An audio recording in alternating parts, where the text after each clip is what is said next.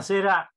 Eh, questa sera, eh, parlando del futuro, vedo che c'è un interesse notevole alla problematica che tratteremo stasera, cioè i carri armati del futuro saranno dei robot. Eh, stasera non parliamo di una storia, ma parliamo del futuro e di quello che potrà essere, eh, diciamo, la nuova tecnologia che prenderà diciamo, piede nelle eh, strutture militari. Vediamo già e pensiamo già alle auto senza guidatore. Eh, nella stessa maniera anche l'evoluzione eh, riguarderà i mezzi militari. E ora presento il nostro eh, conferenziere, il dottor Vincenzo Meleca. Prendo spunto da una sua caratteristica che mi vede molto vicino in quanto anch'io ero un appassionato di Tex Wheeler e lui dal 2004 ha deciso di girare il mondo specialmente iniziando dai luoghi del famoso eroe dei fumetti. Parte questo simpatico episodio e lui praticamente è uno storico, uno scrittore, essenzialmente come professione un avvocato giuslavorista che ha scritto anche molti testi di gestione delle risorse, oltre a essere giornalista, pubblicista e quello che conta anche in questo contesto è un ufficiale dell'esercito in congedo. Sicuramente non ci farà annoiare stasera, anche se eh, l'argomento è importante, però eh, l'attore che parlerà ha girato il mondo e quindi ci potrà deliziare e eh, diciamo così intrattenere piacevolmente in questa sua presentazione. Quindi eh, gli do subito la parola e lo ringrazio di essere presente. Grazie Somigli. Circa il fatto che io sia il giramondo, diciamo che sono, mi ritengo un fortunato, ma non sono un giramondo come tutti quelli che hanno l'etichetta del club dei 100, cioè tutti coloro che hanno passato almeno una settimana in 100 paesi del mondo. Eh, eh, grazie della tua presentazione. Eh, direi che eh, spero veramente di non,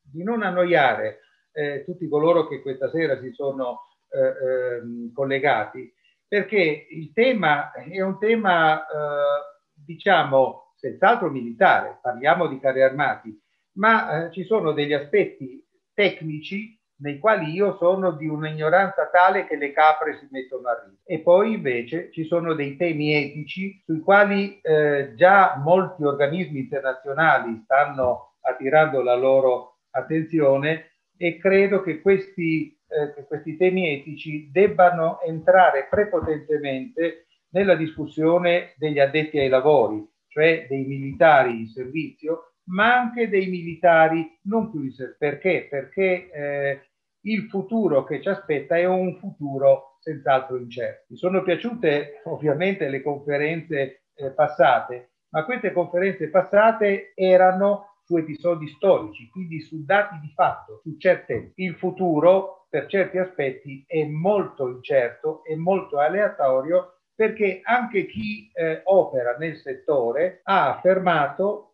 che eh, non sa che cosa potrebbe accadere eh, quando l'intelligenza artificiale eh, sarà matura e prenderà possesso dei mezzi ai quali è stata applicata. Io ora aspetto voi per sapere eh, ehm, quando, quando eh, iniziare la presentazione delle slide. Allora, io proporrei di eh, mandare quel video che abbiamo preparato per riscaldare un po' l'ambiente, dopodiché inizierai, dura circa 5 minuti e qualcosa, e dopodiché potrai iniziare a, a, con le tue lastrine. Quindi... E con il tuo aiuto.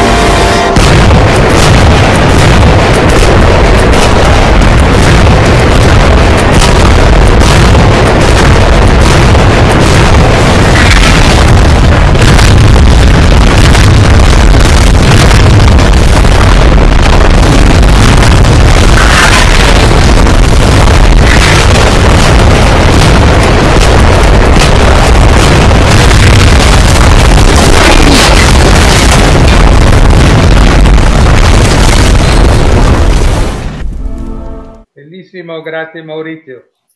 Eh, prima di iniziare volevo mm, dire che come avete notato questo eh, filmato è proprio opera del eh, colonnello Maurizio Parri, ma eh, ehm, eh, Maurizio Parri è eh, insieme al sottoscritto a Fiorenzo Giuntini un esempio di come si possa lavorare in team e spero anche che ci sia l'intervento dell'ingegnere Angelo Aloia per alcuni aspetti tecnici nei quali io sono assolutamente di. Ecco qui.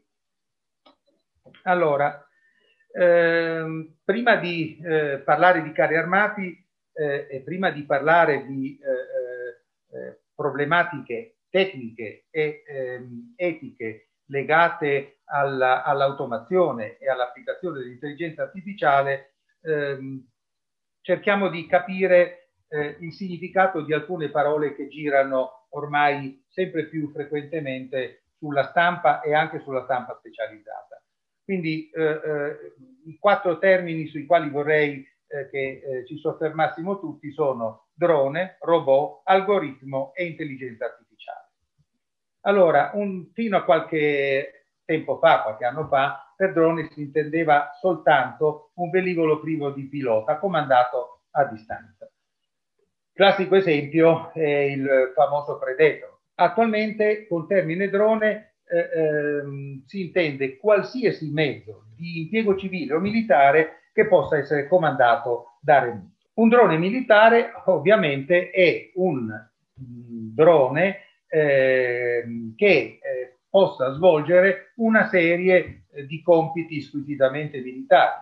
Eh, le sigle ehm, sono varie a seconda del, del, tipo di spazio dove eh, questi droni militari operano, quindi UAV nel campo aeronautico, AUV nel campo navale subacqueo e ehm, UGV per quelli terrestri. Un drone da combattimento non è altro che un drone militare dotato di armamento.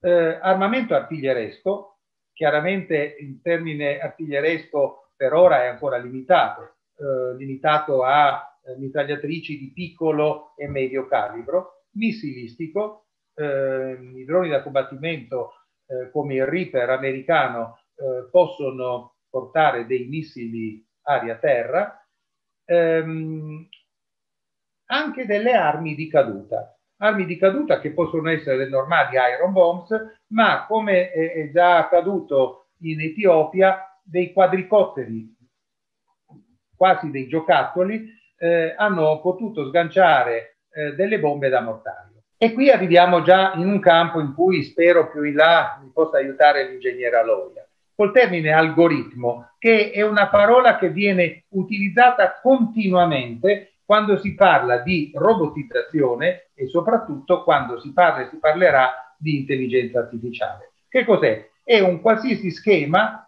procedimento di calcolo, eh, ehm, utilizzato soprattutto in informatica nella fase di programmazione dello sviluppo del software. In pratica tutto quello che i robot possono fare parte da una serie di algoritmi eh, che codificano le attività che poi eh, il, l'automa, il robot, potrà compiere. E con il termine robot è un qualsiasi operatore meccanico automatico controllato da un cervello elettronico, cioè una qualsiasi macchina. Eh, noi, eh, gli appassionati di fantascienza, eh, sia eh, nel campo letterario che nel campo eh, cinematografico, eh, ricordano sempre i robot più o meno con sembianze antropomorfe, ma non è detto. Eh, nelle guerre stellari avevano delle, delle forme anche, ehm, diciamo, da bidoni della spazzatura, tanto per intenderci. Ecco, qualsiasi operatore meccanico, dicevo, e l'intelligenza artificiale. Qui eh, anche chi ci lavora ehm, non è in grado di dare una definizione univoca. Io ho provato a, a sintetizzare eh, quelle che vanno per la maggiore, cioè l'intelligenza artificiale è un sistema, in breve sintesi per noi, è, è un sistema che è mirato a dotare queste macchine di una o più caratteristiche considerate tipicamente umane. In alcuni testi eh, gli esperti del settore eh, dicono fino a non avere coscienza, che è una delle caratteristiche tipicamente umane. Ecco, questi sistemi di intelligenza artificiale sono capaci di adattare il comportamento delle macchine alle quali sono applicate in funzione sia delle istruzioni ricevute, addestramento, quindi non solo programmazione, ma addestramento, sia continuando a imparare eh, analizzando gli effetti delle azioni precedenti, il che li rende in grado allo stato degli atti fino a un certo punto di agire in autonomia. Eh, tutti gli appassionati eh, di fantascienza ricorderanno un film che ormai è di eh, quasi, eh, ci, no, di più di 50 anni fa, del 69, 2001 ehm, nello spazio, dove c'era un computer super intelligente al 9000 che a un certo punto cerca di prendere possesso dell'astronave cerca di sostituirsi all'equipaggio dell'astronave ci riesce fino a un certo punto, poi finalmente l'unico sopravvissuto riesce a disattivarlo. Ma eh, l'intuizione che eh, ebbe eh, grande regista di 2001 Odissea nello spazio è veramente eh, molto anticipatoria di quello che sta già accadendo adesso, di quello che potrebbe accadere domani. Sappiamo che ha ragione quando dice che la serie 9000 non ha mai commesso errori. È vero. Purtroppo queste sembrano un po' le ultime parole famose. Già. Tuttavia ha consigliato lui l'analisi delle cause di avaria. Mm. E ciò indicherebbe la sua onestà e la sua fiducia in sé. Se avesse, se avesse sbagliato, sarebbe il modo per provarlo. Se sapesse di aver sbagliato. Mm. David, non riesco a spiegarmi, ma senti lui qualcosa di molto strano. Comunque non c'è motivo per non rimettere a posto l'elemento e accertare se l'avaria si verifica. Sì, su questo sono d'accordo. Allora facciamolo. Ok. Ma senti, David, se rimettiamo a posto l'elemento e non si guasta, eh? questo sistemerebbe le cose per quanto riguarda Hal, non credi? E saremmo in una situazione gravissima. Sì, non ti pare? Mm -hmm. Che diavolo potremmo fare? Beh, non avremo molte alternative. Secondo me non ne avremo nessuna. Non c'è neanche una delle operazioni di bordo che non sia sotto il suo controllo. Se ci risultasse che funziona male, non avremo altra scelta se non quella di escluderlo. Sono d'accordo con te. Non ci sarebbe altro da fare. Sarebbe complicato. Già. Dovremmo escludere le sue funzioni cerebrali superiori senza disturbare il sistema automatico di regolazione. E dovremmo anche studiare i mezzi di trasmissione per proseguire la missione seguendo i controlli del calcolatore a terra. Già, ma sarebbe più sicuro che lasciare dirigere tutto a lui. Anche un'altra cosa mi è venuta in mente. Mm. Per quanto ne so, nessun calcolatore 9000 è mai stato escluso. Ma nessun calcolatore 9000 aveva mai commesso errori. Non volevo dire questo. Mm? Io ho, ho, avuto uno scambio di idee con alcune persone, alcuni ricercatori del settore e eh, con uno in particolare eh, ho avuto anche uno scambio epistolare eh, molto interessante perché eh, ha detto delle cose che mi hanno colpito profondamente. Non so se l'ingegner Aloia vuole intervenire. L'ingegner Aloia non ci sente. Proseguo io. Ok. Ah. Eh, grazie Vincenzo e saluto tutti. Eh, buonasera a tutti, sono Angelo Aloia e sono ingegnere elettronico, ma mi occupo da sempre di informatica e in particolare di, eh, di tematiche di digitalizzazione e di innovazione. E quindi, eh, fra le altre cose, eh, da tempo sono a contatto anche con il tema dell'intelligenza artificiale, quindi eh, ho avuto, come diceva Vincenzo, abbiamo, ne abbiamo parlato abbastanza anche perché è un tema intrigante e, e che contiene molti paradossi, se vogliamo, anche molte contraddizioni. No? Allora, innanzitutto, eh, come giustamente diceva Vincenzo, io premetto che sarò breve, dico giusto due cose non voglio né tediarvi tantomeno portare via tempo alla tematica principale, però eh, Vincenzo mi ha chiesto insomma, di eh, dare qualche dettaglio diciamo, che possa aiutare a spiegare un pochino queste contraddizioni. Ehm, allora, innanzitutto, come giustamente ha detto Vincenzo, eh, già dalla definizione eh, eh, si notano delle, diciamo, delle, delle possibili contraddizioni, no? perché allora, innanzitutto la complessità della definizione deriva, se vogliamo, più dalla, dalla difficoltà di definire la parola intelligenza, perché eh, già sappiamo che è difficile definirlo e il modo migliore probabilmente è quello di elencare, come un po' aveva fatto Vincenzo nella slide precedente, alcune capacità che noi abbiamo e che complessivamente denotano no, la, il termine che noi chiamiamo, interpretiamo come intelligenza. Uh, uno dei tentativi dell'essere umano, ma fin dai secoli passati, è stato quello di inventare dei meccanismi, dei, eh, magari un tempo meccanici, qualche volta biologici, che in qualche modo simulassero l'essere umano, la sua intelligenza. Mi, a me piace definirla un po' eh, la sindrome di Frankenstein, no? dobbiamo cercare di inventare un qualcosa che, sia, che, che somiglia a noi e che magari migliori nostra, il nostro essere per poi magari scoprire di, di aver sviluppato dei mostri. No? E, e, questo è un po' il paradosso, no? cioè noi immaginiamo quella che è intelligenza, però sappiamo definire, conosciamo solo quella che è la nostra intelligenza, quindi al più possiamo definire un qualcosa che, come dico, nel, nel, come c'è scritto in, quella, in quel testo, possa raggiungere, raggiungere asintoticamente, cioè attendere, ma non può mai raggiungere quello che noi definiamo come, come intelligenza.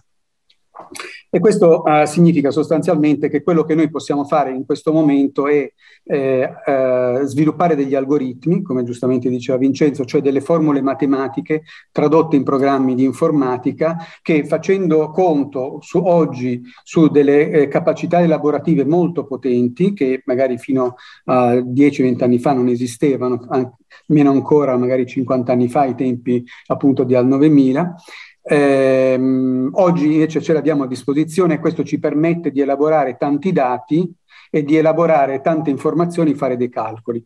Quindi che cosa eh, vuol dire questo? Vuol dire che da un lato noi eh, in certi casi riusciamo anche a migliorare le capacità umane, perché appunto le, le, macchine ci consentono di fare grandi elaborazioni, di calcolare tantissimi dati, eh, di memorizzare tanti dati che ovviamente noi da soli non siamo capaci di, di, memorizzare, però dall'altra parte oggi ancora le macchine non sono assolutamente in grado eh, eh di invece di avere dei comportamenti tipici dell'essere umano eh, che noi consideriamo da un certo punto di vista ovvi, no? come i comportamenti sociali, comportamenti etici.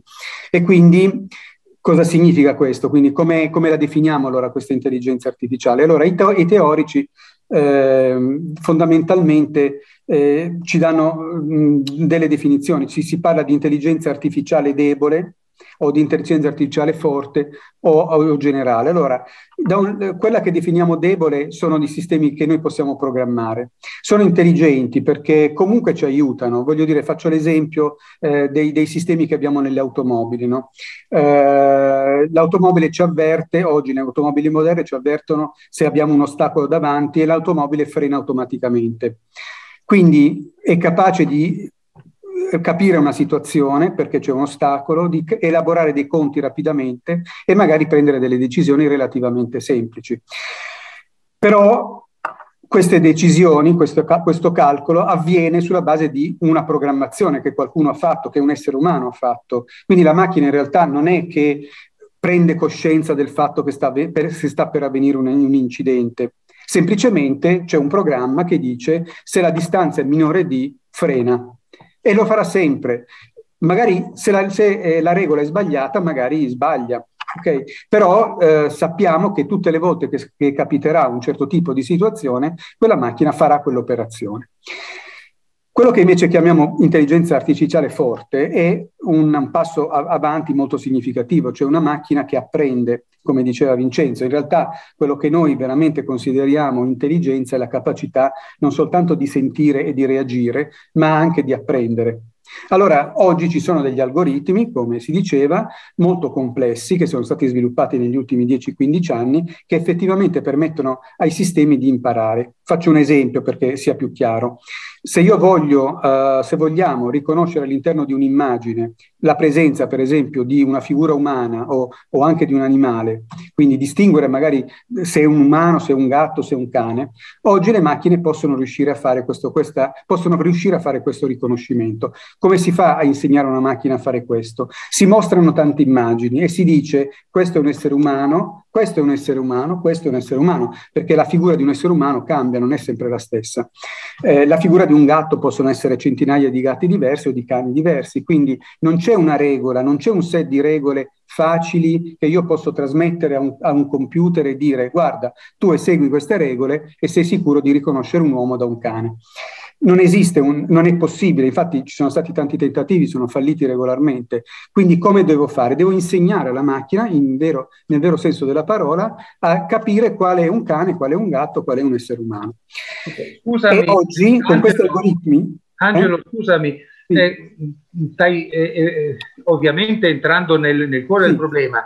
Mm, mi piacerebbe se tu dedicassi due parole a quello che è proprio la parte sì. etica legata. Esatto, è proprio, è proprio, quello che stavo arrivando. Sì. Quindi in questo caso la macchina riconosce, impara, quindi è un'intelligenza artificiale, ma anche in questo caso non ha un approccio etico, semplicemente ha un apprendimento. Allora, da qui nasce il, il, diciamo, il problema. Anche una macchina potente, intelligente, che sa fare che sa apprendere, comunque non riesce fino ad oggi e ad oggi ancora non si pensa che questo sia realmente possibile, avere una, una, un approccio etico, un apporto cosciente. Quindi riconosco che c'è un essere umano, ma semplicemente perché mi è stato insegnato a fare così, ho avuto un addestramento che mi dice se vedi una figura fatta così, eh, allora agisci in questa maniera.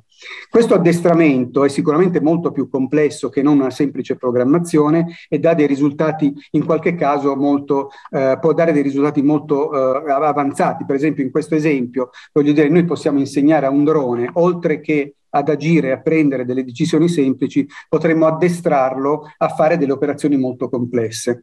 Però Siccome non possiamo prevedere qualunque tipo di situazione, si potrebbero verificare delle situazioni impreviste in cui la macchina deve prendere delle decisioni ed queste decisioni potrebbero essere molto complesse. In questa situazione qui la macchina non sarà comunque in grado, almeno per quelle che sono le conoscenze noi, oggi nostre, di adottare invece dei criteri che noi abbiamo insiti nella nostra umanità, che sono dei criteri etici. E quindi, come in questo esempio, se eh, a un ordine di, eh, di, di, di, effettuare una certa operazione corrispondesse all'improvviso eh, una situazione che mh, causa la, uh, la, morte di molte vite umane, la macchina agisce come è stata addestrata a fare. Non è in grado, per quanto intelligente possa essere ad oggi, non sarà in grado in quel momento, in pochi secondi, di intraprendere una decisione basata su une, una, una, una coscienza etica. Quindi il suo comportamento comportamento dipenderà da chi l'ha addestrato.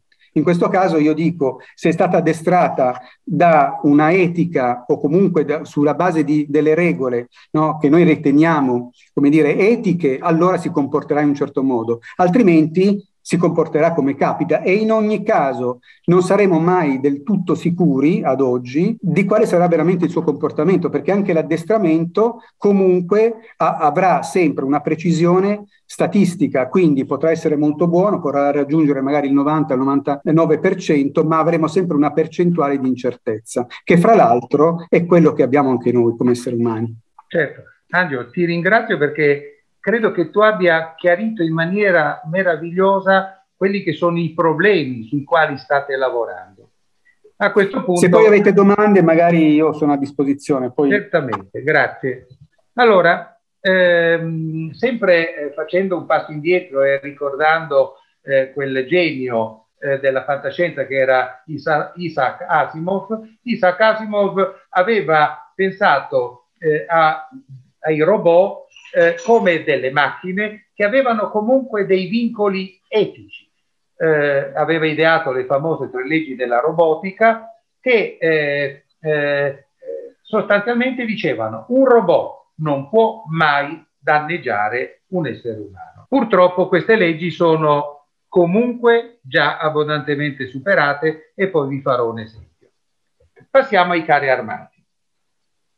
Futuro prossimo? Ma eh, ho voluto eh, eh, ricordare ai carristi che negli anni eh, 40, nella seconda metà della seconda guerra mondiale, c'erano già dei droni, dei carri armati droni, era il famoso Golia, eh, che però era filo guidato. Perdonatemi, ma questo qui eh, eh, ci tenevo a ricordare che vale sempre la pena cercare di capire dove siamo e da dove arriviamo.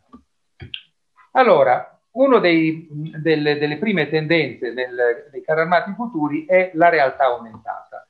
Um, questo è un disegno del, dell'IDV Carmel israeliano. Uh, come voi notate non ci sono uh, um, postazioni uh, per poter consentire all'equipaggio di osservare l'esterno. Perché? Perché questi mezzi eh, sono com- dotati completamente a 360 gradi di una vasta gamma di sensori, tra i quali ovviamente quelli visivi. L'equipaggio, eh, l'equipaggio è situato in una specie di eh, piccola bolla eh, protetta e eh, osserva l'esterno tramite monitor. Sui monitor eh, le varie telecamere proiettano eh, tutto quello che c'è all'esterno. Un'osservazione, e qui credo che valga la pena a, all'amico Fiorenzo um, intervenire, è, eh, riguarda eh, il fatto che questi eh, mezzi blindati, corazzati, prevedono un equipaggio molto ridotto. Si parla di due uomini. Allora io, che sono eh, vecchio e un vecchio carrista, eh, ricordavo che per tagliare il cingolo di un 47, per tagliare il cingolo di un Leopard, tre persone a volte non erano sufficienti. Però il, il buon Fiorenzo Giuntini è, è intervenuto eh, chiarendomi un po' le idee. Nel momento in cui eh, i carri armati, i mezzi corazzati eh, hanno un'evoluzione, avranno un'evoluzione su tutti i sistemi, probabilmente anche sul treno di rotolamento. Il programma Carmel, tra l'altro, eh, leggendo, leggendo, la documentazione del, della, dell'azienda insaidiana, eh, prevede due aspetti fondamentali eh, per i quali eh, i progettisti hanno utilizzato l'intelligenza artificiale. Il primo è per la mira automatica. Come diceva prima l'ingegnere Aloia, la capacità di calcolo eh, di tutti i parametri di un eh, cervello elettronico è diventata estremamente, estremamente più veloce di quella del cervello umano e quindi per la mira automatica hanno uh, um, utilizzato questi concetti.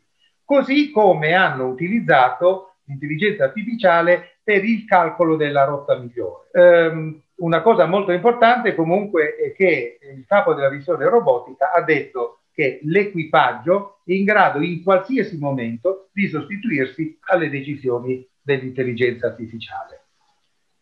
Poi ci sono un'altra tendenza, i carri senza equipaggio a guida remota. Um, qui vedete l'immagine di un vecchissimo carro, il T-59 cinese, la versione cinese del T-54-55 sovietico. Um, eh, si stima che la Cina abbia tra 2.000 e 4.000 di questi pezzi di ferro.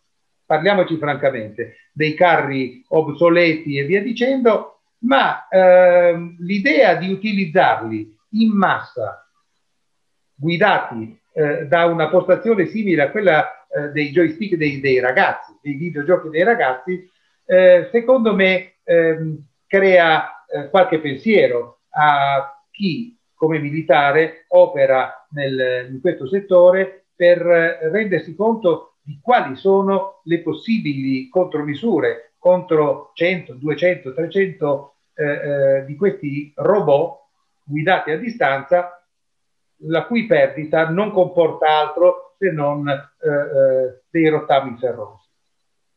Un passo avanti lo stanno facendo, lo stanno facendo eh, eh i russi, i quali stanno già mh, testando il loro ultimo carro, il carro di ultima generazione, il T-14 Armata, che secondo alcuni lanci d'agenzia ehm, viene testato come eh, carro autonomo, carro a guida remota.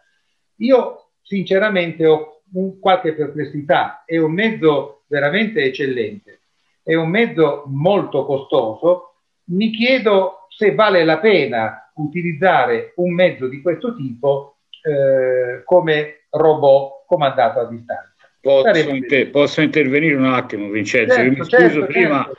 Sì, ho visto anch'io il T14. Ora, eh, se sia giusto e se è conveniente usarlo, beh, da un punto di vista militare non mi esprimo, lo lascio a voi.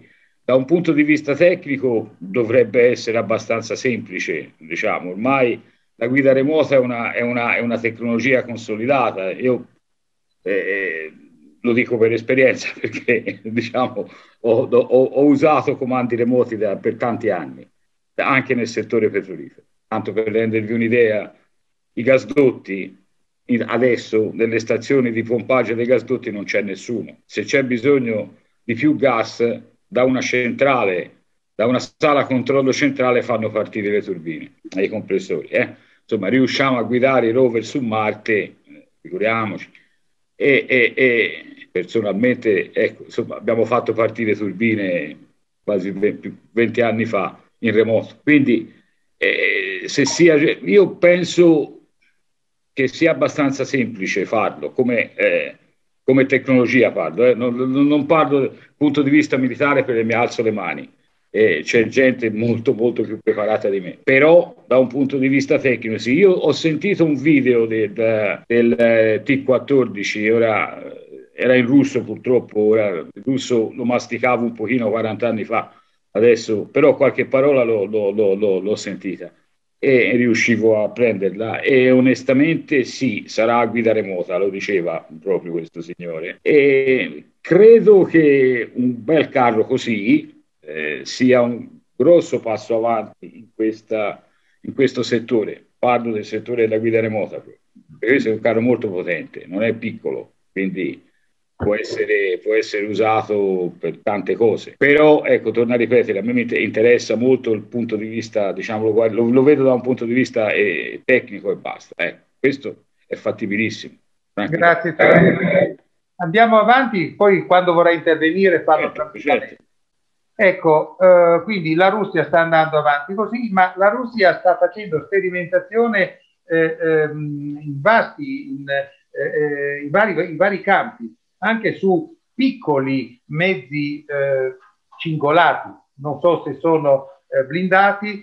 Ehm, voi vedete questa, queste, ehm, l'immagine di questo marker che non solo è un robot lui, ma questo robot cingolato utilizza dei, dei droni, dei quadricotteri ehm, che nel momento del bisogno eh, ehm, si levano in volo, osservano il terreno, trasmettono le immagini al, a questo mezzo che dotato di missili anticarro può evidentemente intervenire. C'è una ditta estone, la Mirrem, che in realtà è finanziata anche dal, dal, dagli Stati Uniti, che eh, sta prepotentemente entrando nel mercato dei cingolati, dei blindati e forse anche dei corazzati, proponendo una vasta gamma eh, di prodotti. Questo piccolo cingolato può essere configurato in vario modo, con missili eh, anticarro, tagliatrici leggere, semplicemente come eh, piccolo mezzo eh, da logistico per il supporto alla fanteria. Eh, vi farò vedere dopo un, uh, un'immagine in cui questo, test,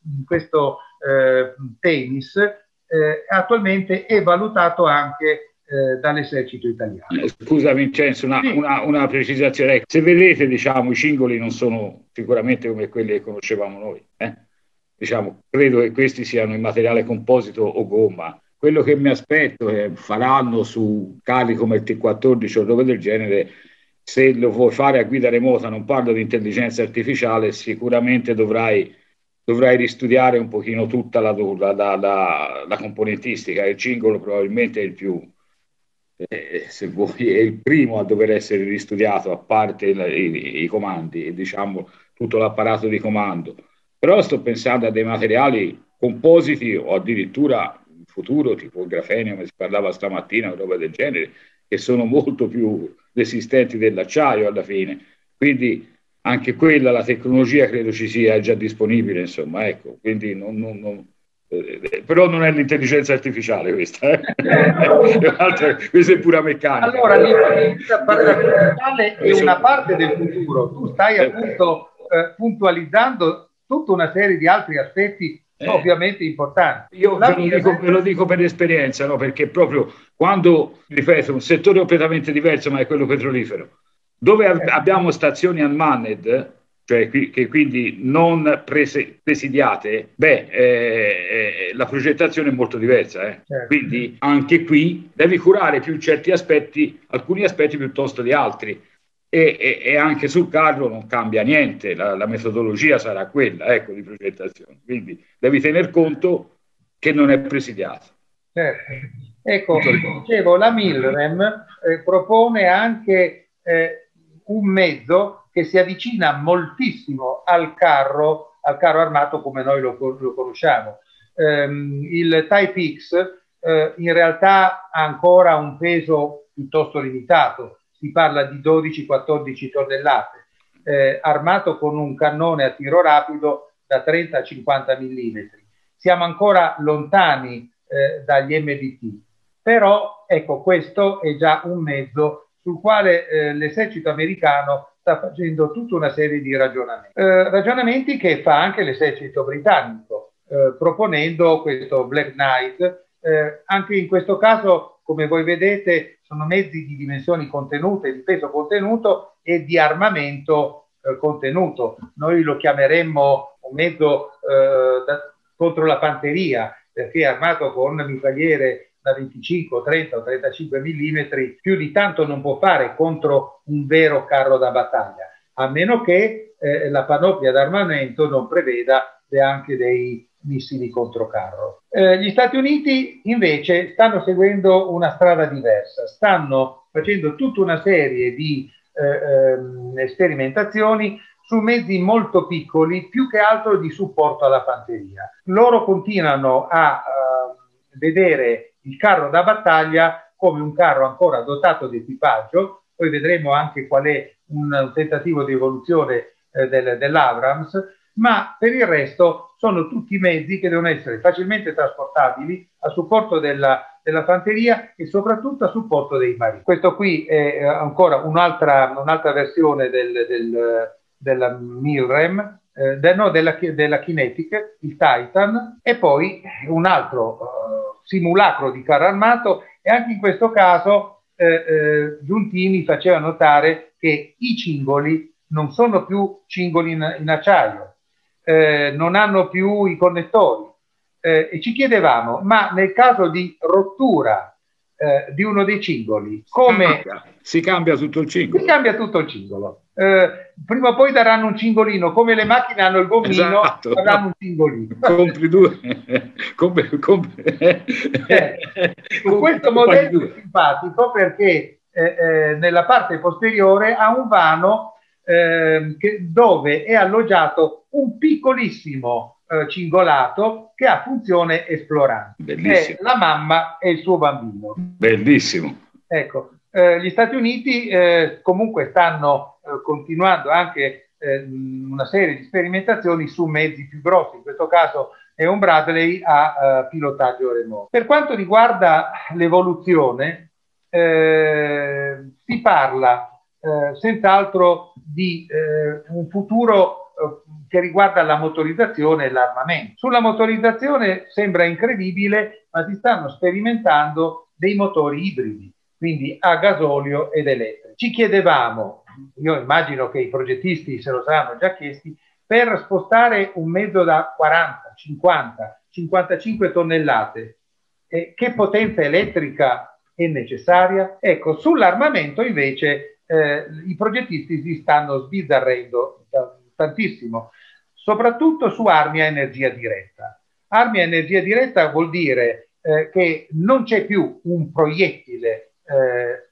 solido, ma ci sono vari, eh, ehm, vari, diciamo, eh, varie forme di energia, dall'energia acustica per eh, così disabilitare eh, le persone allo scoperto, le microonde per cuocere all'interno di mezzi blindati corazzati l'equipaggio, dei laser che invece agiscono direttamente sul, sul mezzo. Non stiamo parlando di, eh, di, teoria, ci sono già ormai tutta una serie di eh, sperimentazioni concrete. La, quella, diciamo, forse più interessante dal punto di vista teorico è il cannone a rotaia elettromagnetica. È, il, eh, è l'arma di cui sono stati dotati i cacciatorpediniere della, della Marina americana, i più recenti, ma è, un, così, è un'arma che richiede una potenza elettrica terrificante. Praticamente su ognuno di queste navi c'è una piccola centrale elettrica in grado di fornire energia a una cittadina di 30, 40, 50 mila abitanti. Presumo che con la tecnologia attuale questo non sia applicabile ai carri armati. Non so un domani se questa energia può essere invece rilasciata da un piccolissimo reattore nucleare. Allora, eh, la stampa ha dato un po' rilievo a, un, a uno strano mezzo eh, cingolato russo eh, spacciando questa fotografia come eh, questo, il, il, nuovo carro armato russo con un cannone a rotaia elettromagnetica. Osservando bene le fotografie, a mio parere si tratta soltanto di un, eh, di un doppio cingolato collegato con degli snodi e un cannone assolutamente tradito. Gli Stati Uniti invece stanno seguendo un'altra, un'altra strada cioè eh, quella di aumentare il calibro delle bocche da e su alcuni esemplari di Abrams hanno montato un cannone da 140 mm. D'accordo, è un cannone ad anima liscia, ma 140 mm.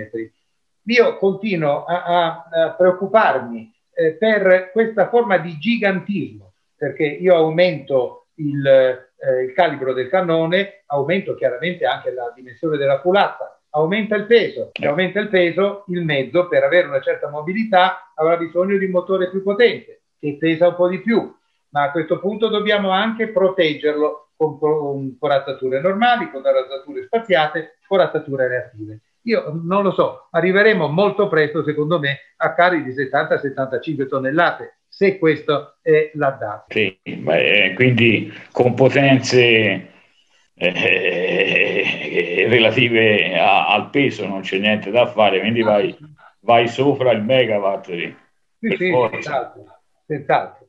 Ecco, e arriviamo a questo punto al, all'applicazione. Quindi i robot ci sono già, sono ancora a livello sperimentale, ma ci sono già, sono dei robot eh, a guida remota. Il passo successivo è eh, cerchiamo di renderli autonomi e quindi di eh, dare al carro armato siamo caristi, quindi parliamo di carri, la possibilità di decidere autonomamente se uccidere, non uccidere, chi uccidere in battaglia, ovviamente sollevando da questo compito l'essere umano. Eh, questa, questa, tematica è una tematica eh, soprattutto etica e mh, mm, eh, sta coinvolgendo una serie di discussioni perché molte nazioni dicono ma in questo modo i conflitti eh, vedrebbero ridotto il numero eh, di, di, vittime umane, eh, si parlerebbe soltanto di, eh, eh, me, di mezzi blindati, corazzati, rotati, cingolati che vengono distrutti. Non credo che sia proprio così, perché eh, ha studiato la storia sa che le battaglie e le conquiste si effettuano solo quando l'essere umano calpesta il territorio. Per cui se dietro questi robot ci sono fanti, ovviamente i robot avversari, nemici, potrebbero e dovrebbero ovviamente eh, ucciderli. Ehm, al di là degli aspetti giuridici, eh, l'ONU, salto, salto eh, una serie di aspetti per consentire a voi. Ehm, allora, prima di dire delle, delle ehm, delle organizzazioni internazionali che si stanno interessando, eh, vi avevo accennato al fatto che le leggi della robotica sono già state abbondantemente superate. Ci sono già due esempi, eh, due casi, in particolare uno in Libia e l'altro in Siria, in cui un, un drone di fabbricazione eh, turca, il Cargo 2, ha attaccato eh, in Libia un convoglio di truppe, c'erano dei mezzi ruotati e dei mezzi blindati e li ha attaccati in modo totalmente autonomo. Come hanno scritto ehm, gli osservatori dell'ONU, erano stati programmati per attaccare obiettivi senza richiedere connettività dati tra l'operatore umano e il sistema d'arma. Eh, io ho indicato i link da cui si possono tirare fuori questi documenti originali. Quindi qual è il succo di, di, di questo tipo di macchine? Sono stati programmati, addestrati, non mi addentro eh, in questioni di semantica, eh, gli, è stato dato, gli è stato detto questo, tu vai in quell'area, l'area che è delimitata da n punti GPS.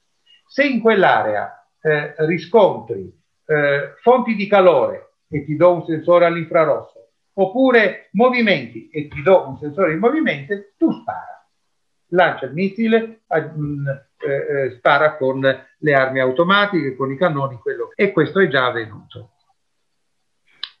Eh, dicevo che il dibattito è senz'altro aperto eh, all'ONU, ma è aperto ormai da 40 anni e una frase mi ha colpito di alcuni scienziati che dicono non c'è più tempo eh, per eh, agire in questo campo perché è come diceva l'ingegnere Aloia, è come un vaso di Pandora, cioè noi applichiamo l'intelligenza artificiale, ma non sappiamo che cosa potrebbe accadere dopo. L'Unione Europea è andata ancora più avanti. Tre anni fa ehm, ha votato una risoluzione, quindi un documento ufficiale in cui si sottolinea l'importanza fondamentale di impedire lo sviluppo e la produzione di qualsiasi sistema d'arma autonomo letale, privo di controllo umano sulle funzioni critiche quale selezione e ingaggio degli obiettivi. Quindi qui c'è un documento. Un altro documento importante l'ha fatto lo stesso la difesa americana eh, eh, per rendere operativi i principi etici simili a quelli eh, indicati dall'Unione Europea. Persino l'Organizzazione Mondiale della Sanità è, eh, è impaurita dall'applicazione dell'intelligenza artificiale ai robot che vengono attualmente utilizzati soprattutto soprattutto degli interventi chirurgici. E eh, in un documento abbastanza recente, sei mesi fa, eh, ha detto che eh, occorre difendere l'autonomia dell'uomo. Gli umani dovrebbero mantenere, e qui mh, mm, così eh, vorrei attirare la vostra attenzione sulla, sul tempo del verbo condizionale, dovrebbero manten- quindi c'è già una forma dubitativa sulla possibilità, dovrebbero mantenere il controllo dei sistemi sanitari e delle decisioni mediche. Non poteva mancare il Papa. Il Papa ovviamente non poteva dire cose diverse per, eh, sostenendo che robotica e innovazioni tecnologiche debbono assolutamente andare a beneficio dell'essere umano. La stampa ovviamente eh, così affronta l'argomento con dei titoli molto particolari, perché vanno fermati i robot killer. Va bene, non, non, non discuto su questo, ma mi viene subito in mente una riflessione. Eh, parto da duemila anni fa, Tito Livio, Dum Rome consolitur taguntum expugnatur. Eh, mentre a Roma si discute, l'ONU, l'Unione Europea, l'Organizzazione Mondiale della Sanità e chissà quanti altri Sagunto è sognata. E mi chiedo, ma se noi oggi ci neghiamo la possibilità di fare ricerca e sviluppare dei robot autonomi, in grado, come eh, si dice correntemente, di neutralizzare, eh, termine politicamente corretto, anche un po' ipocrita, quando si parla di conflitto, neutralizzare vuol dire uccidere, vuol dire distruggere. Non giochiamo eh, troppo con le parole, siamo tutti maggiorenni e vaccinati.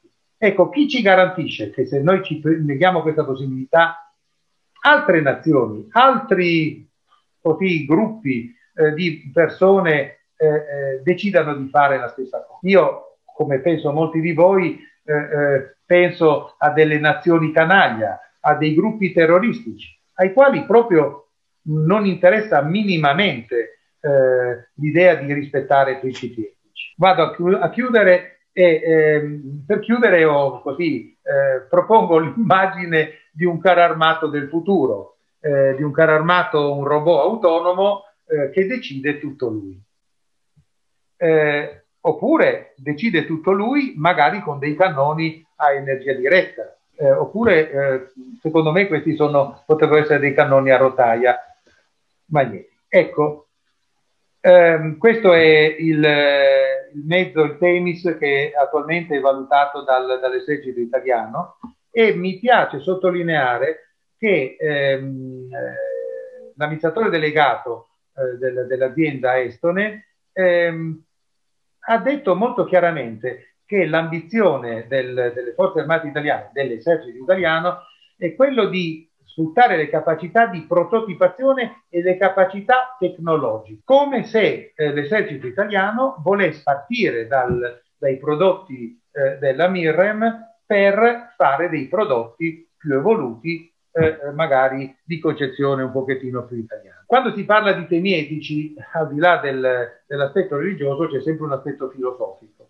E eh, Nick Boston, che è un noto filosofo svedese, noto per chi ama la filosofia, eh, dice che secondo lui le macchine nel giro di un secolo diventeranno senz'altro più intelligenti degli uomini. E dice, e il problema è proprio questo. L'uomo oggi come oggi è il dominatore della Terra, non perché è il più forte, non perché ha i denti più affilati, ma soltanto perché attualmente i cervelli umani sono migliori di quelli degli altri.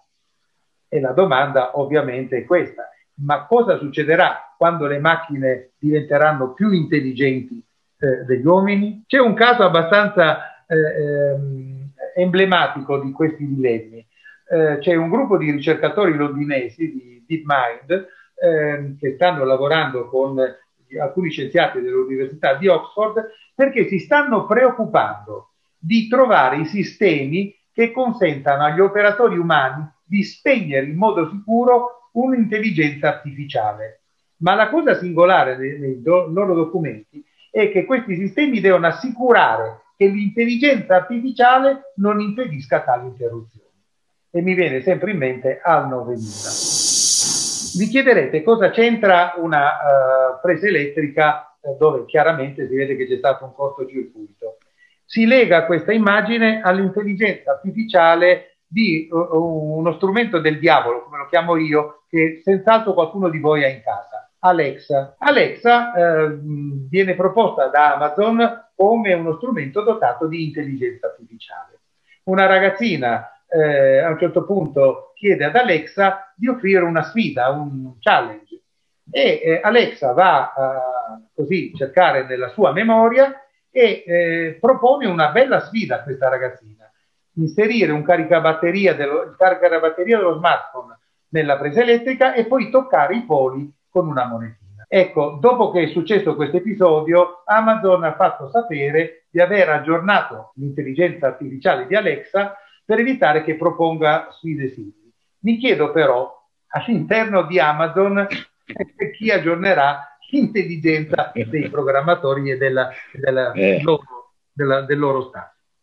Grazie per l'attenzione a tutti, eh, siamo tutti a vostra disposizione. Vi ripeto, eh, eh questo è stato proprio un lavoro mh, di, proprio d'equipe, eh, eh, con Maurizio, Maurizio in testa, Fiorenzo e Angelo e il sottoscritto.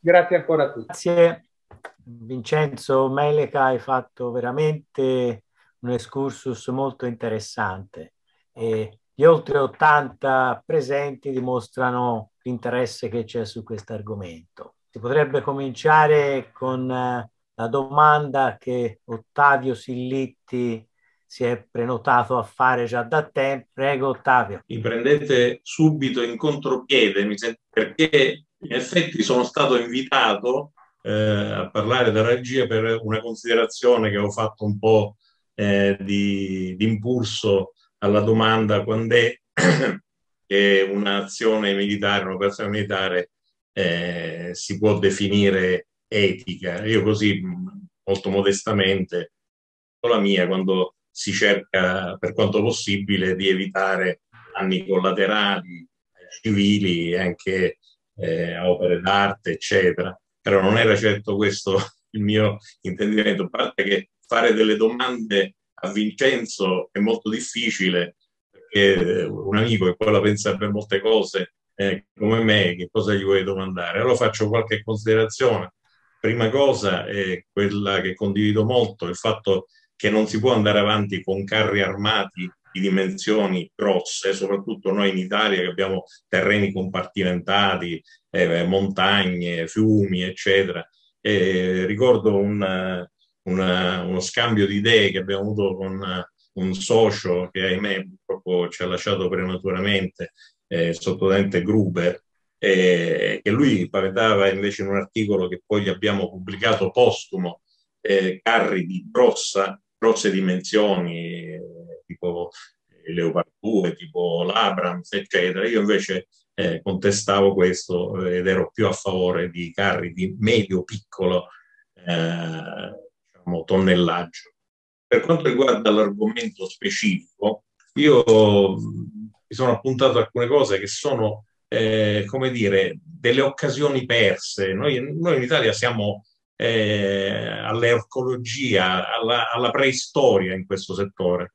Mi ricordo che nel 96 eh, ho partecipato, io allora lavoravo allo Stato Maggiore della Difesa ed ero ehm, capo sezione enti di ricerca e sperimentazione, cosa che si sa questo che faceva. In effetti i due enti di ricerca e sperimentazione che controllavo eh, erano Perinter, che però era eh, un feudo dell'aeronautica, e, e il, Cisam, Jack Resam di San Piero a Grado, che eh, se non feudo della Marina, ma quasi ci, ci mancava. E ehm, diciamo a seguito dei, dei, dei colleghi del CISAM andai negli Stati Uniti ad assistere a una conferenza sul modeling e simulation. Parlo del 96, signori, quindi quasi 30 anni fa. Chiaramente io ho visto delle cose che in Italia ce le sognavamo e in particolare mi colpirono due cose. Primo, che gli americani eh, il progetto lo facevano tutto in simulazione. Avevano tirato fuori un mezzo anfibio che soltanto alla fine poi l'hanno messo in, in produzione, ma tutta la sperimentazione era fatta in simulazione. Loro cosa fanno? Eh, creano un'agenzia dove dentro c'è eh, le forze armate, l'università e l'industria, dove ciascuna di queste componenti poi ha il suo tornaconto, l'università fa ricerca, eh, l'industria fa sperimentazione e poi dopo chiaramente fa produzione e le forze armate poi hanno il prodotto. Mettono un manager, gli danno un budget, dopo due o tre anni dicono ecco che cosa hai creato. Cosa che da noi è impensabile. Noi abbiamo l'università completamente fuori, e le industrie che ci vedono soltanto come una macchina per spremere. Nel 2012, vengo più recente, ero vice comandante della scuola di cavalleria di Lecce e eh, mi colpirono due episodi. Noi eravamo coinvolti con lo Stato Maggiore in, eh, nell'evoluzione del strumento terrestre. Innanzitutto eh, per vedere qual era l'evoluzione futura di un carro armato, lo Stato Maggiore dell'Esercito ci mette un colonnello degli alpini a dirigere il gruppo di lavoro e questo già la dice tutto fatto che dove potevamo andare. E, e mi colpì che durante un dibattito un collega, tale Bianco, che adesso gli chiederei perdono, mentre noi facevamo le nostre alchimie, lui disse: Ma perché, signori, non pensiamo a un piccolo carro armato telecomandato?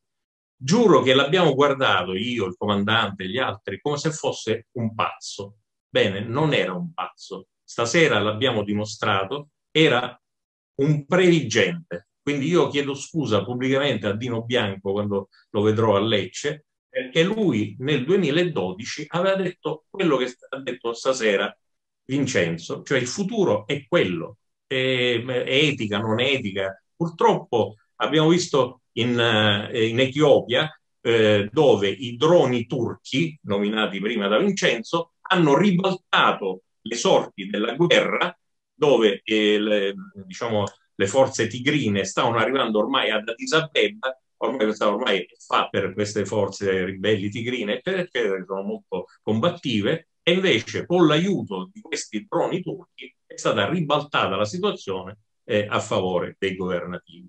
Ultima annotazione, e dopo mi taccio, sempre verso la fine del 2012, ultimo mio impegno come vice comandante della scuola di cavalleria di Lecce, vado in visita alla scuola e truppe corazzate dell'esercito svizzero a Thun. E lì è stata la conferma di quello che ho sempre detto, non ho sbagliato mestiere, ma il paese dove svolge.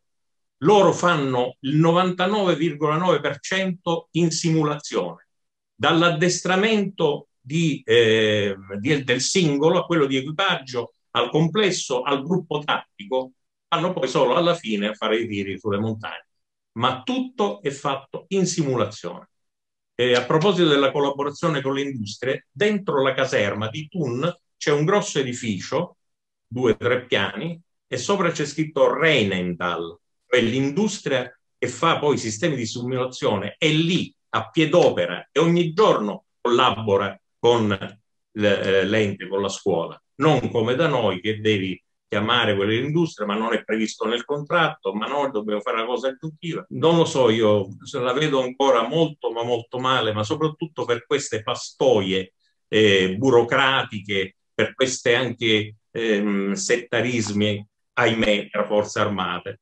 E, e, non so se poi si realizzeranno queste cose che stasera Vincenzo ci ha, ci ha, ci ha propinato. Grazie Ottavio. Grazie Ottavio. Qualcun altro che ha da fare qualche domanda?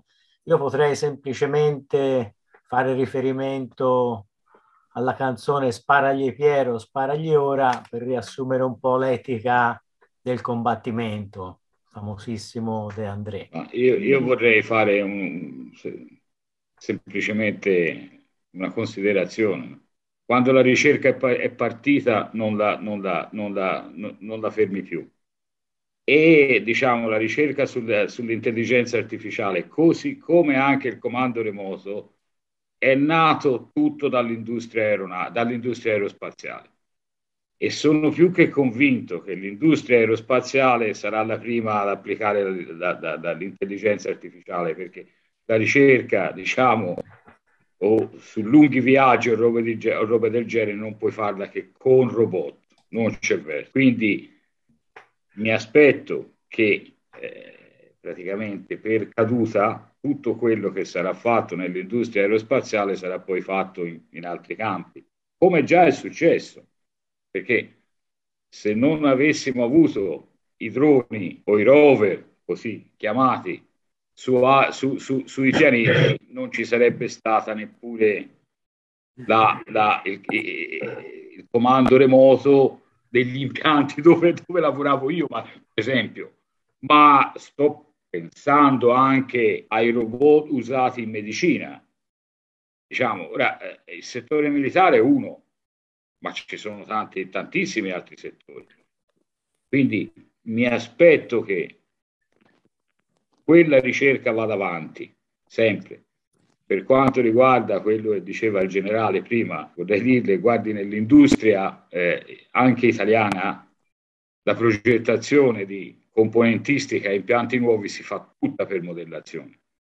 Mi duole apprendere che non è fatta in campo militare. Ecco, questo mi sono rimasto sconvolto, diciamo, no? perché dovrebbe essere il campo uno dei campi che si presta di più alla, alla, alla simulazione, alla progettazione in, simulazione. Questo sono rimasto veramente scioccato. Grazie Fiorenzo.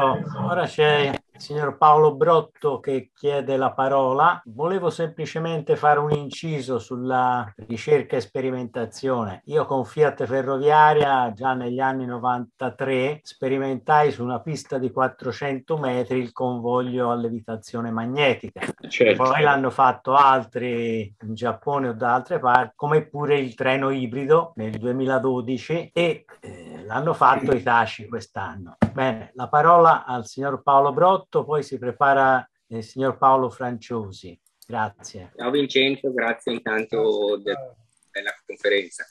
Volevo semplicemente fare una riflessione riportando alla, la, la, discussione al problema etico, che secondo me è quello più importante di tutto quello che è stato detto. Io penso semplicemente che è facilmente prevedibile mh, mm, prevedere quello che succederà, perché è già successo, come è già successo con lo sviluppo della bomba atomica. Purtroppo è inutile illuderci che l'uomo o una nazione si fermerà nello sviluppo, perché l'indole stessa dell'uomo è spostare sempre la, l'asticella più in alto, cioè noi la nostra indole da piccolini eh, giocavamo con la candela finché poi ci, ti bruci, capisci che non devi giocare, cambi idea.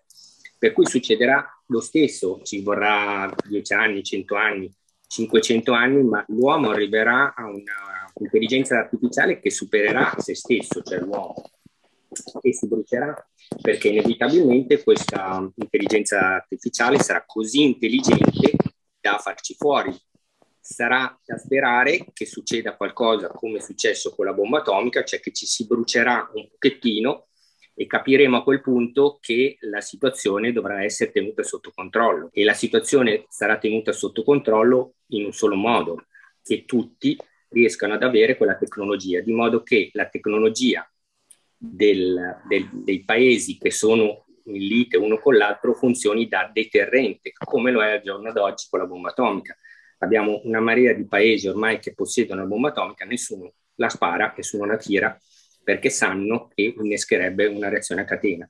Per cui il deterrente sarà proprio questo, ma mh, mm, lo sviluppo di questa intelligenza artificiale è iniziato e finirà eh, con un super sviluppo di intelligenza artificiale, che io spero, io sono medico, spero sia soprattutto invece più nel campo medico che militare, perché mh, mm, almeno risparmieremo un po' di soldi e li useremo per la medicina che si è visto in questi ultimi periodi alla fine è quello nei momenti di crisi che serve di più. Semplicemente volevo dire questo, che è impossibile mh, mm, bloccare lo sviluppo, per cui illudersi con i vari trattati europei o americani, dire sì, noi facciamo i buoni, arriviamo fino a un certo punto, poi eh, è, è inutile, cioè, è successo con la fecondazione artificiale, è successo precedentemente con la bomba atomica e succederà anche con l'intelligenza artificiale. Ringrazio tutti e io continuo ad ascoltarvi ancora un po' e vi auguro buona serata e grazie ancora. Grazie Paolo. Scusi un attimo, signor Franciosi. Signor Franciosi, attivi l'audio. Grazie. Fatto. Buonasera a tutti. Sono Paolo Franciosi del 58 corso UC Carrista, visto che stiamo, siamo in argomento. Um, ho scritto nel, nella chat i miei punti di riferimento di stasera sono dov'è il limite eh, tra eh, etica e uso della robotica eh, in campo militare. Siccome ho nei miei ultimi 15 anni di lavoro lo, li ho spesi proprio presso le, le nostre aziende militari a discutere di cosa fare e come fare certi, certe operazioni.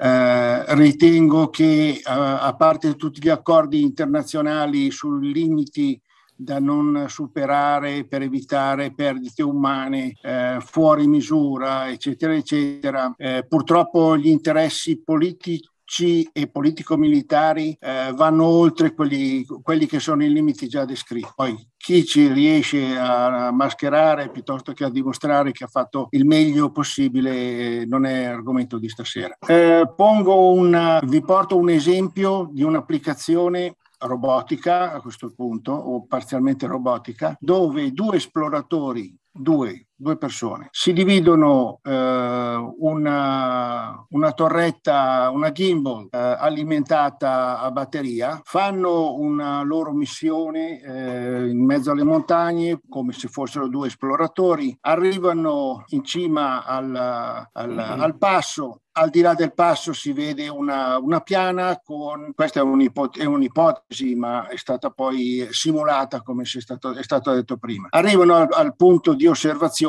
montano questi due pezzi eh, della gimbal, accendono la gimbal, si connette automaticamente al centro operativo che magari è a qualche chilometro di distanza, quindi in posizione di assoluta difesa, dove c'è una base militare. A questo punto questi signori con la gimbal in inquadrano la scena, la, la telecamera è in grado via algoritmo, di, al parola di cui si è parlato prima, di fare una mappatura di tutta la valle, dove in questa valle ci sono eh, insediati eh, diciamo dei reparti militari, chiamiamoli del nemico. La mappatura viene spedita al centro di operativo a, ai chilometri di distanza. Quando tutti, quelle, tutti, quegli incroci che danno delle coordinate ben precise sono stati acquisiti dal computer della base, si alza un elicottero con i vari missili attaccati sotto la pancia. Quello si porta a una certa distanza, ma non per farsi sentire o per farsi vedere, basta che si alzi in, in quota e a quel punto il computer di base dà i segnali dà il, il via a, al fuoco dell'elicottero. I missili arrivano e sono guidati, centrano in pieno gli obiettivi, per cui se là ci fosse una base militare piena di carri armati, 30, 40, 50, quanti, quali sono, nell'arco di eh, pochi secondi vengono centrati in pieno e fatti fuori completamente. Che ci siano sui i soldati piuttosto che no, è lì è il limite tra l'attacco militare a tutti i costi con massimo di perdite umane oppure eh, diciamo attacco militare, distrutti i mezzi ma si sono salvate le persone. Cioè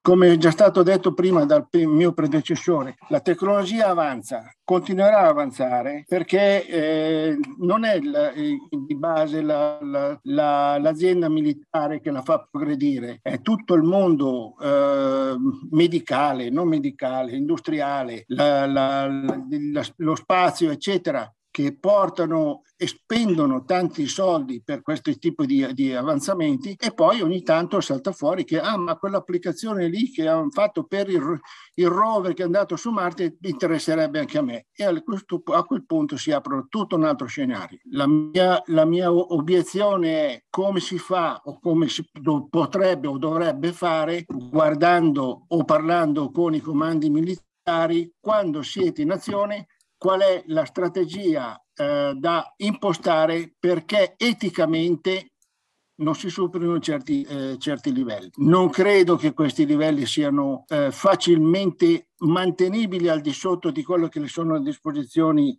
eh, già scritte e firmate da tutti, ma purtroppo per il successo di chi sta attaccando quelli, i limiti vengono superati, viva il successo, ho vinto la battaglia.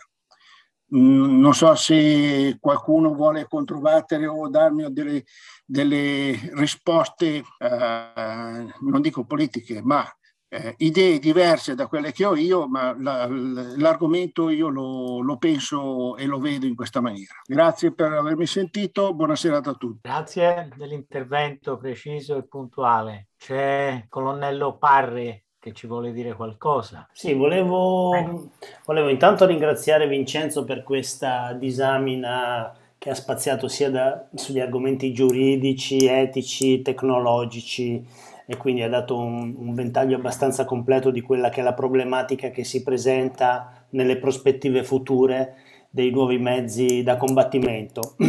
Volevo chiedere, avevo una curiosità su, di, di carattere ingegneristico e forse l'amico Giuntini può, può, venirmi in aiuto, riguardo alle motorizzazioni elettriche dei veicoli da combattimento. Ora sappiamo che i motori elettrici sono efficientissimi, però sappiamo che, che hanno bisogno di essere alimentati da batterie che eh, hanno bisogno di tempi piuttosto lunghi per ricaricarsi quando si esaurisce la carica.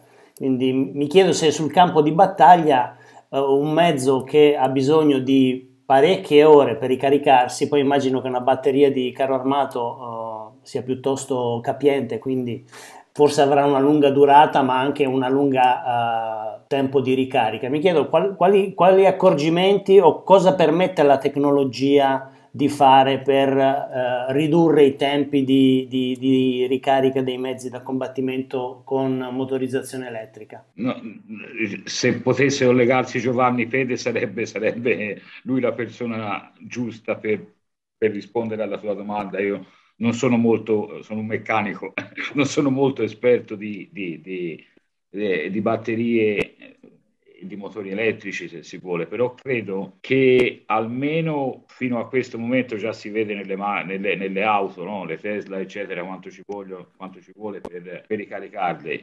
Io penso che eh, nei, nei carri diciamo, a trazione elettrica, se questi avranno trazione elettrica, molto probabilmente all'inizio sarà ibrida, perché la tecnologia ad oggi delle batterie non permette una ricarica così veloce, specialmente sui campi di battaglia impossibile, quindi dovresti, dovresti avere per forza eh, un altro tipo di, di, di, di, motorizzazione, probabilmente ibrida oppure probabilmente a cella e credo anche che i motori elettrici non siano uno solo, ma siano come minimo due, ciascuno per ogni ruota motrice, perché almeno io lo, lo farei così, eh, eh, se, lo, se, lo, dovessi fare. Questo un pochino anche gli studi che avevamo fatto per il Fiat 2000 insieme a Giovanni. E io credo che ancora a livello di batterie non, non, non, non siamo a delle ricariche così veloci, a meno che, ripeto, Giovanni non abbiano eh, e, e, e, chi ci studia non ha trovato già qualcosa, eh, diciamo delle batterie speciali o roba del genere. Ho letto su delle riviste specializzate che ci stanno lavorando e che pensano che in due o tre anni già il, eh, sì, chiaramente erano rivolte a, agli autoveicoli, si pensa che insomma si, si ci voglia 10-15 minuti a ricaricare una batteria per un motore da 100 cavalli, tanto per rendere un'idea. Ma qui però insomma cominceremo a parlare come minimo di un megawatt o 800 kilowatt, quindi eh, la cosa è molto, molto, molto più grossa. Io penso che all'inizio sicuramente saranno motorizzazioni ibride. Oggi io non la conosco una tecnologia che permetta, eh, almeno io, eh, poi non è detto che non esista, da qualche parte eh, o che la stiano studiando, però non la conosco. Eh, una tecnologia che permette di avere batterie di quasi un megawatt eh, che, che, che, che, si ricaricano in pochi minuti. Ecco. Quindi penso che sarà una motorizzazione ibrida. Sentiamo un attimo l'ingegner Pede che ha fatto degli studi sulla trazione elettrica dei carri armati. Niente, io vi sento all'inizio con, eh, con, con molto piacere, ho visto che avete, indovinato perfettamente qual è il principale dei problemi, che è il problema etico-morale. è lo stesso problema che si presenta, che, che si è presentato in misura molto ridotta perché, perché si, parla, eh, si trattava solo di incidenti nel caso della guida autonoma dei veicoli, insomma, è quello diciamo, il, il problema fondamentale. Ora, premesso questo, ehm, sul quale ripeto sono d'accordo con voi, visto che la domanda era specifica su motorizzazioni ibride o motorizzazioni elettriche, io non posso essere d'accordo con il discorso della, della motorizzazione ibrida, soprattutto perché in, in, condizioni di combattimento il rifornimento non può, non può essere fatto altrettanto rapidamente. Eh, se non altro perché eh, sul sito di combattimento non ho eh, una, una, rete che mi dà il megawatt di potenza, mentre posso portare dappertutto un, una, una autobot e non posso portare dappertutto una batteria da un megawatt che si travasa in in un su armato da, in, nel, diciamo nel, così rapidamente da, parla, da, da, da, dare un rifornimento nel giro di, di 5-10 minuti, perché 10, minuti di rifornimento sarebbero una cosa insuperabile. Eh, si possono fare nel caso del, degli autobus, ma negli autobus cioè, c'è la possibilità di, di, andare al capolinea e al capolinea avere tutta la potenza disponibile. Quindi è un discorso logistico soprattutto, non è un discorso di, di capacità delle batterie di immagazzinare in tempi che non sono quelli del liquido, ma che comunque non sono nemmeno la mezz'ora, insomma sono tempi sono tempi molto più ridotti, quindi diciamo, da questo punto di vista l'ibrido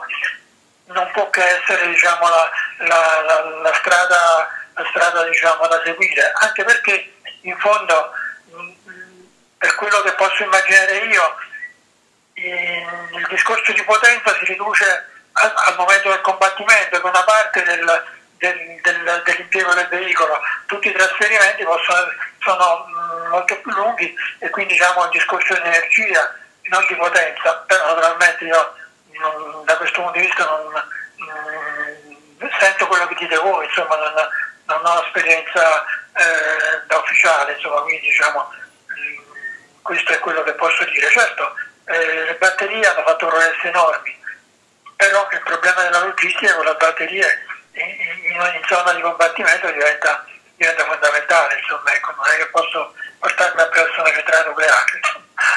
Ecco, questo è il punto.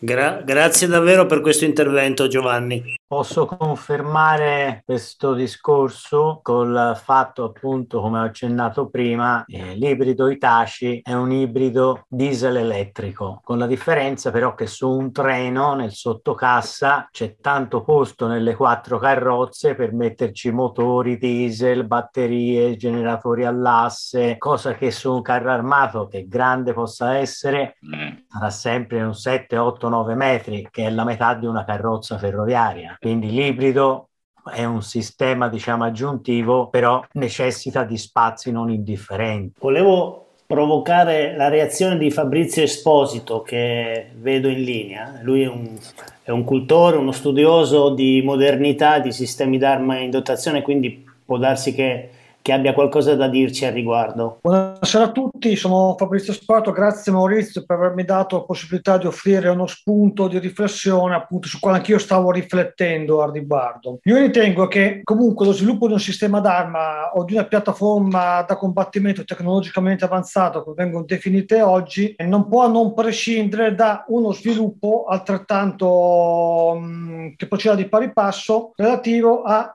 un sistema di supporto perché Già possiamo vedere oggi che l'impiego degli UAV o droni, come vengono comunemente chiamati, presuppone, così come avviene per i velivoli pilotati, di, uh, la disponibilità di una rete di supporto a terra una volta che il velivolo rientra al termine della sua missione presso la base aerea di partenza. Io ritengo che questo sia difficilmente replicabile per un sistema terrestre, visto la fluidità chiaramente di quella che è la manovra sul terreno, quindi su, su, per quanto riguarda la manovra terrestre e anche e soprattutto per quanto riguarda la fluidità della situazione situazione tattica alla quale noi che operiamo appunto mh, come forza di terra chiaramente siamo abituati a confrontarci, quindi compresa la correzione dello scostamento. Quindi pensare allo sviluppo di un sistema d'arma terrestre robotizzato chiaramente va visto in sistema con lo sviluppo di una capacità di supporto. Questo è lo spunto di riflessione e il contributo di pensiero che mi sentivo di condividere con tutti voi. Grazie Maurizio. Grazie a te Fabrizio, sapevo che sarei caduto in piedi con te. E niente, io vedo in linea anche Claudio Dei e magari mi chiedo se Claudio Dei, che sicuramente è allo stato dell'arte, può illuminarci con qualche considerazione. Io lo sapevo che mi incastravi eh, in questa serata, lo sapevo benissimo, insomma va bene. Mi fa piacere sentire che ci sono tanti toscani perché non pensavo ci fossero così tanti toscani fra carristi, quindi mi fa molto piacere, questo è un orgoglio eh, recondito per la mia regione. Ma volevo essere un po' provo- provocativo perché credo che bisogna esserlo, no? Cioè bisogna vedere un po' anche la storia, quello che ci ha detto. La storia ci ha detto, e guardiamo la Marina, che siamo passati dalle corazzate alle portaerei, quindi siamo passati da sistemi quindi fortemente corazzati, con bocche da fuoco importanti, a sistemi meno corazzati, con più sistemi di autodifesa e soprattutto con un maggiore raggio d'azione. Eh. Il carro armato non è piccolo, ehm, eppure all'epoca c'erano i sommergibili, c'erano i MAS, c'erano tutte queste cose qua, quindi potrebbe essere uno spunto di riflessione di pensare invece a qualcosa di grande e non di piccolo, eh. perché la storia ci ha detto questo, insomma. Poi pensare a un carro armato piccolo già non è più un carro armato. Chiaramente eh, qualsiasi mezzo ha bisogno di dottrine di impiego eh, che si devono diversificare, eh, quindi un carro armato grande avrà dottrine di impiego diverse da quello che può essere un impiego di carri armati piccoli nel, nelle attività. L'intelligenza artificiale è in evoluzione, cioè quanta ne vogliamo usare e quanta ne possiamo usare, questo è un'incognita. Certo che non possiamo pensare a un carro armato fra cento anni, bisogna pensare a un carro armato fra molto meno anni, insomma, ecco questo era il mio pensiero. Grazie Maurizio per avermi incastrato questa sera e una buona serata a tutti. Grazie a te Claudio. Bene, eh, adesso io vorrei, vorrei, avrei tante domande da fare, no? Perché vorrei anche sapere, a parte il carro, il veicolo singolo, vorrei anche sapere come veicoli robotizzati possono coordinarsi tra di loro per uh, operare in un plotone, in una compagnia, o se la tecnologia, così come riduce gli equipaggi, avrà degli effetti anche sugli organici delle unità uh, di combattimento. Ma rischio, rischio di fare una domanda o di affrontare un argomento che ci, via, ci porterebbe via un sacco di tempo. Quindi se Mauro è d'accordo, io darei la parola al generale Enrico. Scusa Presidente, volevo, ring- volevo integrare i ringraziamenti all'ingegner Pede di Enea della Casaccia, perché c'erano anche due ingegneri professori dell'Università di Pisa, e tal ingegner Ceraulo e tal ingegner Lutzenberg.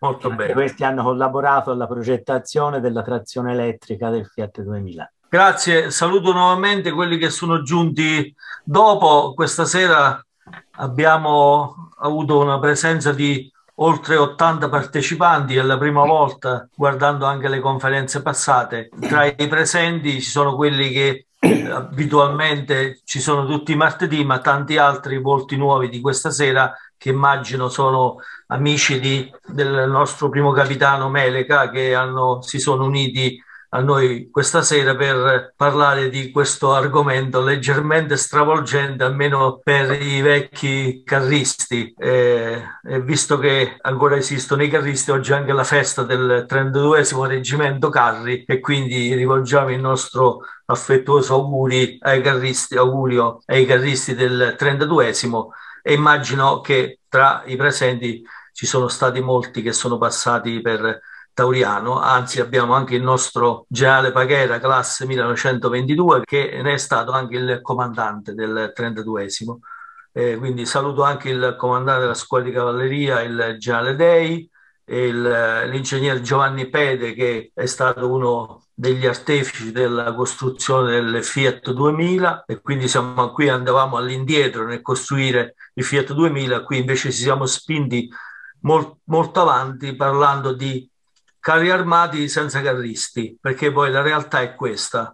Per cui eh, ci siamo occupati di, di potenza, di motori, di motore elettrico, diesel, di, di, mezzo che si muove da solo, però in realtà dovremmo anche chiederci ma l'uomo dove sta? Perché penso che ci debba essere, e mi riallaccio a quello che diceva Fabrizio Esposito, cioè il supporto di tutti questi sistemi, dove si trova. E magari il vecchio reggimento con i suoi piloti, i suoi cannonieri, i suoi capicarro eh, sarà estinto e forse ci vorrà, per far funzionare tutto questo, ci vorrà probabilmente, chiamiamolo, un nuovo reggimento di uomini, forse non semplici carristi piloti così bravi meccanici, ma probabilmente un, un, reggimento forse di ingegneri, di operatori, probabilmente costeranno un sacco di soldi per, per, per organizzare tutto questo supporto umano che secondo me ci deve essere. Quindi ci lascia, penso, questo interrogativo la conferenza di questa sera. Eh, se ci muoviamo esclusivamente la scienza, i tecnici si muovono verso il futuro di un, un, carro senza equipaggio che muove da solo e senza studiare parallelamente qual è il supporto necessario per far funzionare tutto questo, probabilmente scopriremo di inventeremo dei nuovi mezzi, ma probabilmente scopriremo che ci, ci vuole un sistema umano costosissimo per farlo funzionare. Forse questo è l'interrogativo. Quindi muovere sul, muoversi solo sulla tecnologia e non eh, studiare parallelamente quale può essere questo ruolo dell'uomo a fianco a questi sistemi, eh, credo che si debba riflettere su ci debba essere una, una, riflessione. Quindi io vi ringrazio per eh, la vostra partecipazione e magari questo mio quesito può anche essere un spunto per proseguire la discussione. Ringrazio eh, il primo capitano Melega che eh, conosciamo tutti, è un, è un brillante ricercatore, studioso, storico, eccetera, ed è anche un prezioso collaboratore della rivista Il Carrista d'Italia. Quindi grazie eh, Vincenzo Melega.